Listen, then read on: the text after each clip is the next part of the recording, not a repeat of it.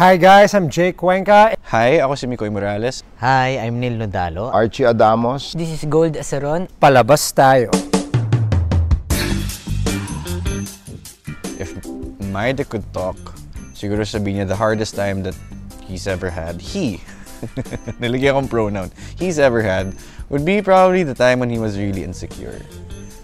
And he didn't really, when he would just, I don't know, not believe in himself in all aspects of his being. Kung nakakapagsalita yung titi ko, siguro sasabihin niya na hindi mahalaga kung malaki, maliit, or wala, or meron kang titi. Ang mahalaga is yung pagkatao mo, yung pagkalalaki mo, kung paano ka sa family mo, sa friends mo, and sa community mo. Ah, sa tungkol sa pagbibigay ko sa kanya sa kaligayahan, siguro masasabi niya, masasabi niya lang siguro, thank you. Salamat. My dick is happiest when it's bigger. And uh, when? When you have the girl right in front of you. Oh, I would think. um, last time at Pledge itself, I think did do we didn't do too bad. I think I'd say like um, not too bad. Yeah. Be probably proud to say na, hey, I smell normal. like, I smell like how a dick should smell like. Sobrang saya si Junjun tuwing nakakakita siya ng mga Junie. Charot. Pinapaliguan and everything. Of course, I take care of it and very well spoiled to pagdating doon. but, but there are times na aminado siya na parang, ooh, medyo mainit. Okay, sige, dito tayo ngayon. Siguro masaya si Junjun kapag nakakita siya ng ibang magpapaligaya sa kanya. Siguro, mahilig kasi siya sa kuweba. So, pag nakahanap siya ng kuweba na pwede niyang tuluyan, doon siya magpapahinga, mas magiging masaya siya. What would my dick say when he embarrassed me? Are you really asking me that question? Because what I would say is, you, you really destroyed me. I'd tell him to just shut up and don't do anything because I don't know how I can change things. Uh, what would my dick say after the last huge hangover? Oh, maybe two. I haven't had haven't had alcohol in two years, so I think maybe the last hangover was maybe it's the last one. Maybe that's what he said. mga lalaki specifically na mga nakakalimutan nila yung mga pagkalalaki nila.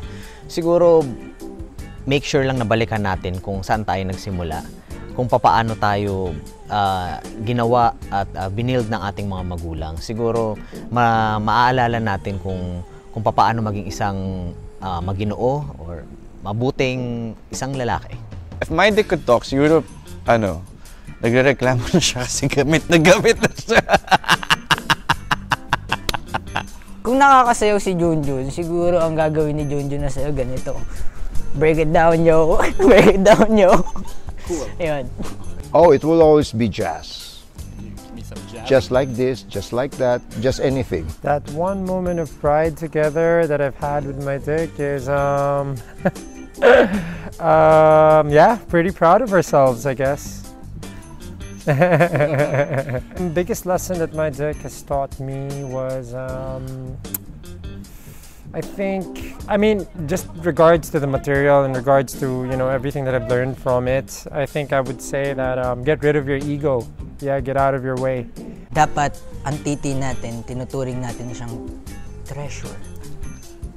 hey, alam mo naman na to, but you are not what you think you are sometimes. Because you're the best. And you're the only one I got. Come on. Dapat hindi lang basta-basta kung saan pinapasok. Just be yourself. Maybe that's the best thing or the, the most important thing I learned about this show is just really be yourself in front of people, even behind closed doors. Like who you are there. Like fuck norms. Like fuck stereotypes. Just be your fucking self. As Archie, it has taught me that, you know, you can make fun of many things and most of all, you can make people happy. But as dudes, I think what it does would be to make you love even more. Very proud of yung dick ko is yung by sharing awareness na maintindihan yung mga katulad po namin ng mga trans men. Kung ano yung mga pinagdadaanan ng, namin, namin dalawa ng titi ko. Na-explain dito um, bawat bawat iba't ibang uri ng mga tite. What my dick is most proud about this show is is that the the venture and the journey na ginawa niya with V-Roll. To be honest, like it's such an honor and pleasure to be part of their first baby, first big baby, and and and turns out to be like a couple of dicks, you know, on stage, and and yun, I think this will go down for me as as as one of the best things I've ever done in my life, really. um, it's most proud of all the people behind it. I think um, we just had um, we just had a whole meeting with everyone here, the whole production and staff, and for me, it's just um, we've been a family for the past two months, and just to see it, just to see everyone together, and just to see this thing come true, and to make dreams come true together. Um, yeah, um, I think we're all pretty proud. Yeah. Pinang-grateful ng titi ko sa show na to. Kasi nga ayun po, na nabigyan namin yung mga tao, um, parang nag-ano kami, eye-opener kami sa kanila. At yun, dun naging grateful yung titi ko. grateful for the craft creating and recreating with people you share same passions with. And this opportunity really is it's been one hell of a ride. Like it's a dream come true for my dick to have this opportunity. Um, my dick is most grateful for is display, for, for theater, for the craft, um, for seeing people again, for having an audience, being able to perform, being able to, being able to share, and being able to have this platform again. Um, siguro sasabihin ng titi ko dun sa mga positive reviews is magsasabog ng maraming confetti.